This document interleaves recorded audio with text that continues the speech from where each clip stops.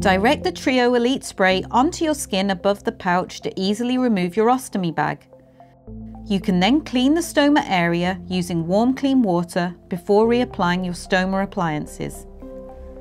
Wipe the skin around your stoma with your choice of a Trio Elite wipe or spray to protect your skin from irritants. Before you apply the seal, it's important to ensure your skin is dry, as the seal won't stick to wet skin. Take your Silvex seal and peel and dispose of the lid from the clear plastic blister. Using your thumb and forefinger, Carefully pull the seal from its pack. It's normal for the seal to be fixed to the blister pack, but it's strong enough for you to pull it free without tearing or damage. Take the edge of the seal in both hands and stretch it around your stoma. You can then allow Silvex to retract around your stoma to form a comfortable seal. Silvex has been designed to fit securely around any shape of stoma, so there's no need to mould it into shape. Its gentle elasticity will hug the stoma to form the seal by itself.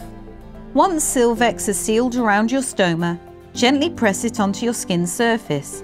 Now, place your ostomy pouching system directly onto the surface of the seal as normal and hold it in place until it feels secure.